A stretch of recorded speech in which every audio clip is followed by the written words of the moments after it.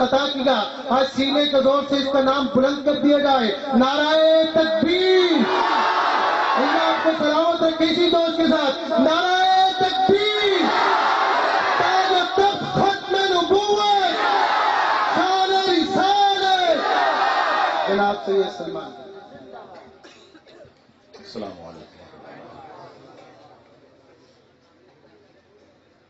भाई, वो मौलाना से गलती हुई। कर था मैंने एक चेक कर लिया हाँ। हज़ार नहीं है उसमें। वो बेचारे परेशान ना हो जी पाँच पाँच सौ पता नहीं, साड़ी ने काट लिया पाँच पाँच सौ है। तकसीम कुनंदा जो है ना, वो बेचारा फिर उस पर इल्ज़ाम लग जाते हैं बहरहाल, मेरी तबा में ज़रा ज़राफत है, आप जानते हो। इसलिए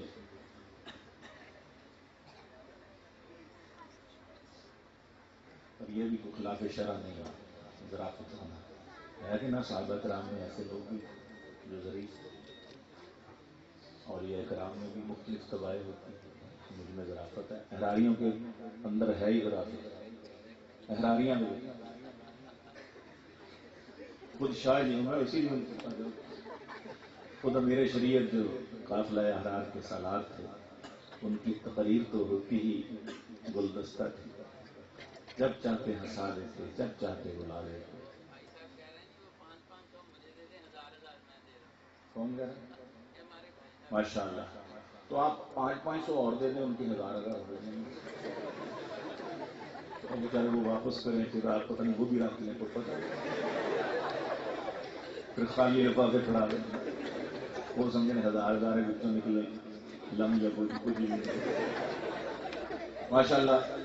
हमारा उन्होंने वादा किया बारिश कर लें कोई नहीं बच्चे तो मिल लेंगे इंशाल्लाह बिल्कुल पान नहीं होएगा, फिर तो नहीं दुरूद पाक मोहब्बत के साथ पढ़ आज हमारे दिल वाकई दुखी है। लेकिन क्या किया जाए? पूरे आलम इस्लाम की यही कैफियात है। हमें अपने अकाबिर की बात को सुनना है, समझना है, जो वह फैसला करे, आप अपने हौसले की खातिर जमा रखें। किसी को खुद ब खुद अमन अमान हाथ में लेने की ज़रूरत नहीं है। बुज़ुर्गों का, बड़ों का जो फैसला होगा, उसके मुताबिक चले। अभी तो खबरें आ रही हैं। अल्लाह ताला हमारे इस मुल्क की हिफाजत फरमाए, आलम इस्लाम की हिफाजत फरमाए। ये मदारस जो हैं, ये अभी मौलाना बता रहे थे, ये फौज है। अल्लाह ताला की कुरान की हिफाजत के लिए। तो ये मदरसा है दारुल कुरान तो मुझसे एक इंटरव्यू में एक खातून पूछने लगी कि आप तो कॉलेज यूनिवर्सिटी के पढ़े आप ये मौलवी क्यों बनते हैं? टोपी, दाढ़ी, मोजे पहने हुए। उस वक्त मैंने मोजे पहने हुए मैंने कहा, बीबी, इसके बड़े फ़ायदे हैं मौलवी में। कहती क्या मैंने कहा, आखिरत में तो इसके फ़ायदे हैं ही हैं। इन वज़ीर जब खबर में। मोमिन जाएगा तो जब अलैहि वसल्लम के नंबर पर दाढ़ी देखेगा, दाढ़ी मुबारक। तो जिसके नहीं होगी, वो तो परेशान हो जाएगा। ओहो, मेरे नबी के चेहरे अनवर पर दाढ़ी मुबारक और मैं कैसे सामना कैसे सामना करूँ? शर्मिंदा होगा तो मैंने कहा, जिसकी होगी बाकी माल तो बाद में फिर होंगे पेश होंगे, जब देखा जाएगा, अल्लाह ताला वो भी आसान फरमाएँगे। लेकिन पहली मंजिल जो आखिरत की है, वो तो है कब्र। तो उससे कम अज कम ये फ़ायदा तो हो गया पहला। कहती है दुनिया में मैं चीनी क्या भाव है? उस वक्त सत्तर रुपए की कहती, सत्तर रुपए में हमारी बला से सत्तर हज़ार रुपए किलो हो जाए, हमारे हलवे बंद ही नहीं होते। हमारी खीरें चलती जा रही हैं। ये कुरान की बरकत ये अल्लाह वालों के साथ जुड़ने की बरकत है।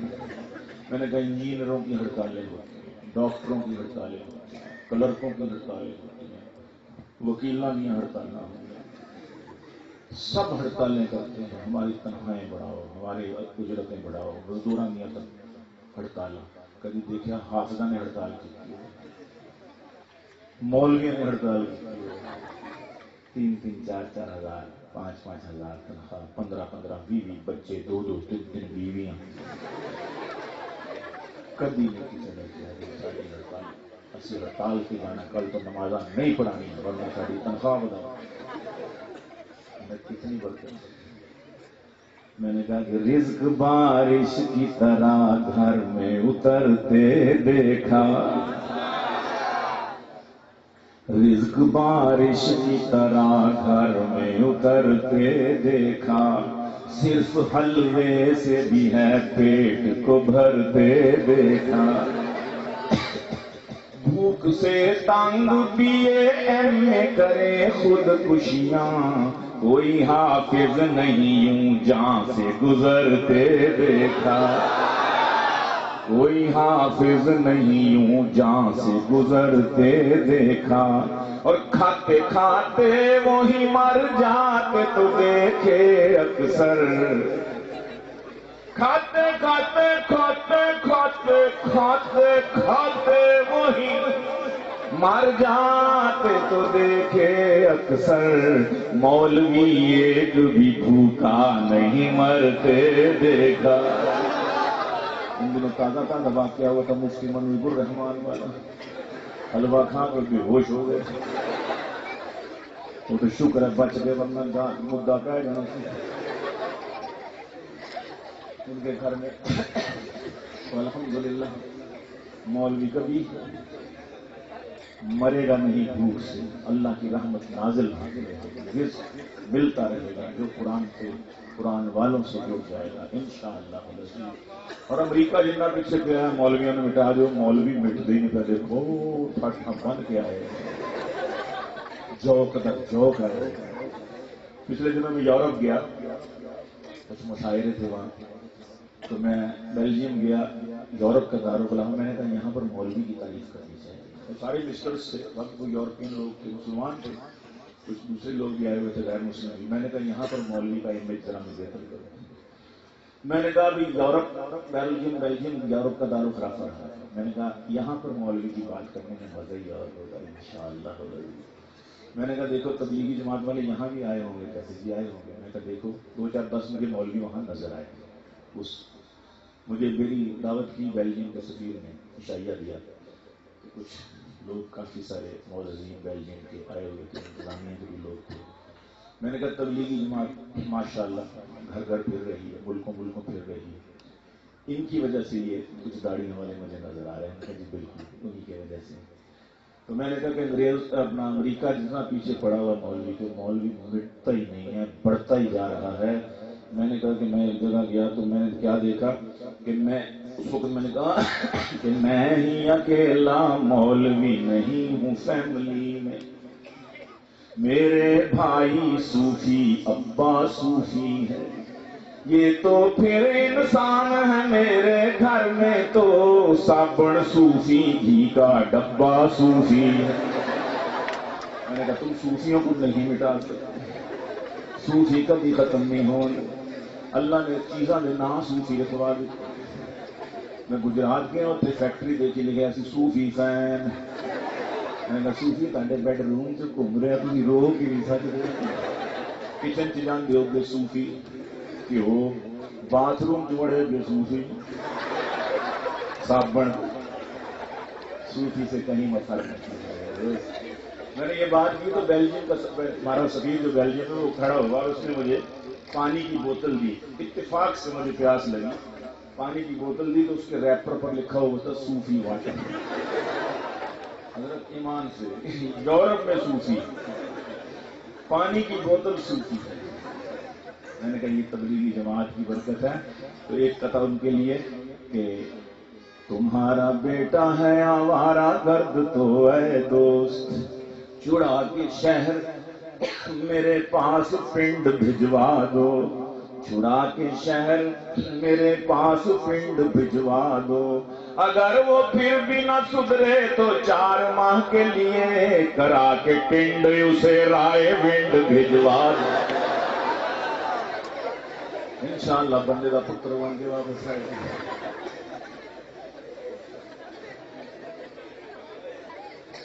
अल्हम्दुलिल्लाह। ये काम हो रहा है। जहाँ शैतान की मेहनत और रहमानी रहमान के लोग भी मेहनत कर रहे हैं। अल्लाह इस काम में तरक्की दे इस मदरसे के साथ जो लोग दामे, गिरामे, कदम सकून तावन कर रहे हैं। अल्लाह उनकी माल, जान आबरू ईमान की हिफाजत फरमाए। इस मदरसे को अल्लाह पाक चार चाँद लगा दिन, दुगनी, रात, चुगनी तरक्की नसीब का। आमीन के कह लो अरे नमाज़ में कह रहा यहाँ ज़ोर से कह लो अरे मियाँ और बुलंद आवाज़ से कह लो एक आदमी तवाफ कर रहा था बैतुल्ला शरीफ लोग कह रहे थे, अल्लाह असल जन्ना अल्लाह असल कुल अफमा वल आफिया रब्बना आतिना फिद दुनिया हसना व फिल आखिरति हसना। एक आदमी कह रहा अल्लाह में दो रोटियाँ थोड़ा सा खा लेंगे।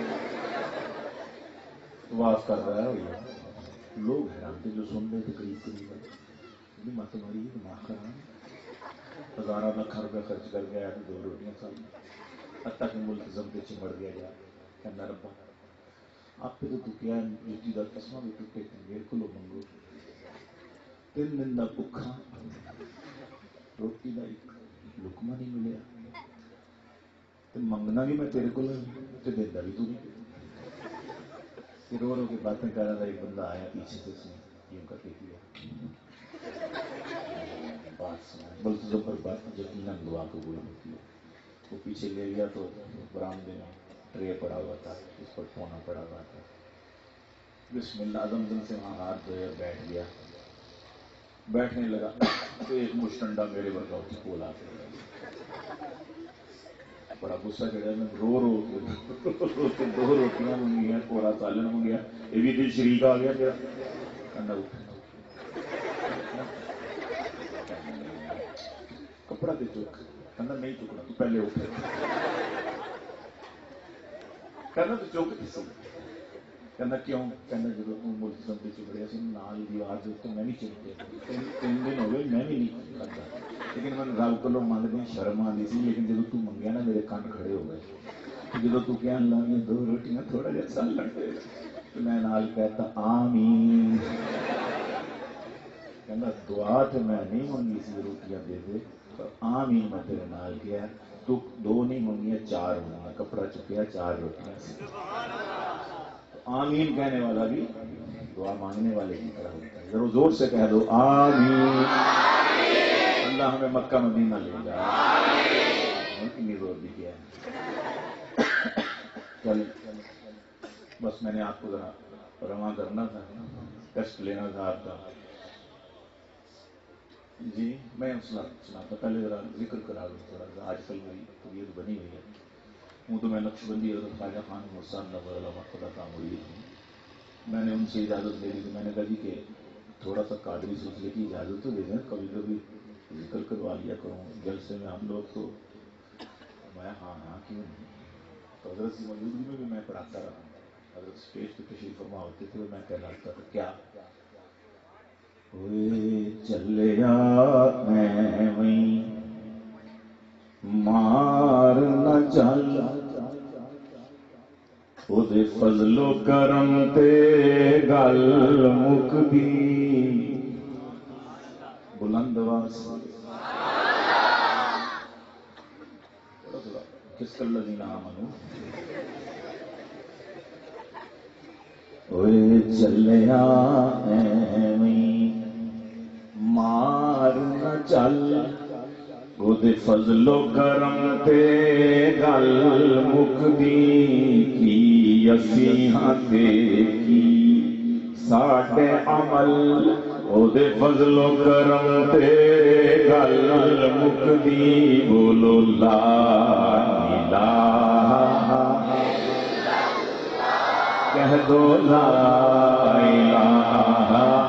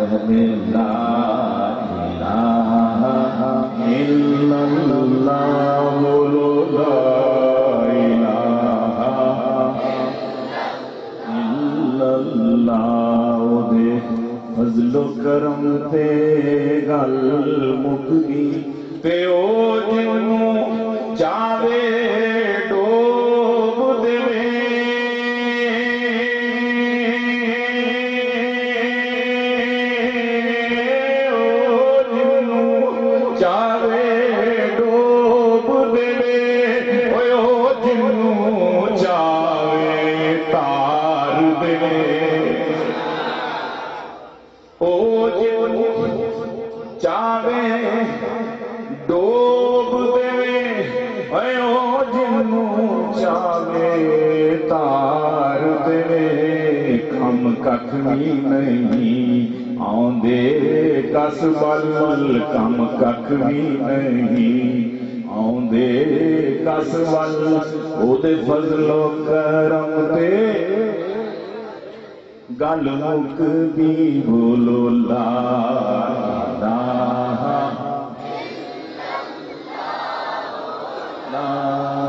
ਲਾ el viplautora santiama senzaga